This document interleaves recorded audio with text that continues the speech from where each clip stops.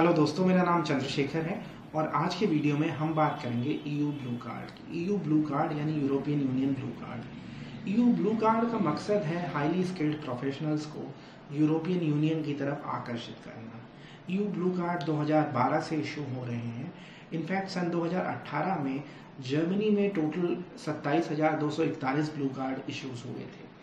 उनमें से 7,556 इंडियंस को मिले। दैट मीन्स अबाउट 27 परसेंट इसका मतलब ये है कि इंडियंस ऑलरेडी ब्लू कार्ड का फ़ायदा उठा रहे हैं।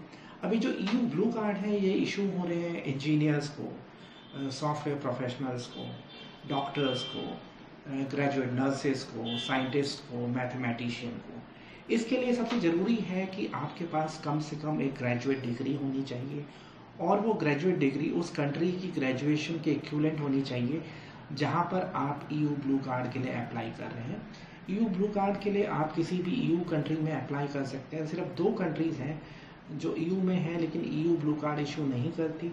उनमें से एक कंट्री है आयरलैंड दूसरी है डेनमार्क यहाँ पे आप ईयू ब्लू कार्ड नहीं इशू कर सकते हैं। और ईयू ब्लू कार्ड या तो आप उस कंट्री में अप्लाई कर सकते हैं, या आप उसकी एम्बेसी में इंडिया में अप्लाई कर सकते हैं। आप जिस भी कंट्री में हैं, वहाँ से आप अप्लाई कर सकते हैं।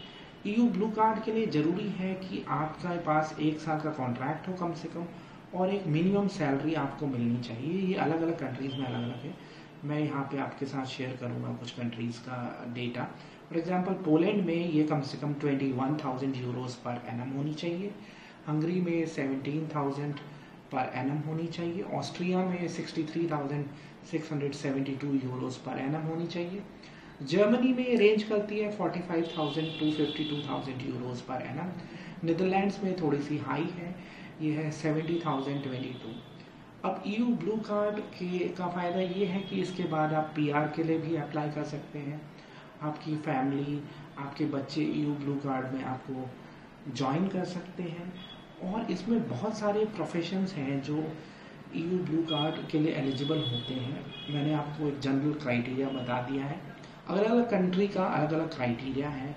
आप उनकी अगर इमिग्रेशन वेबसाइट पे जाएँगे तो आप वो क्राइटेरिया देख सकते हैं।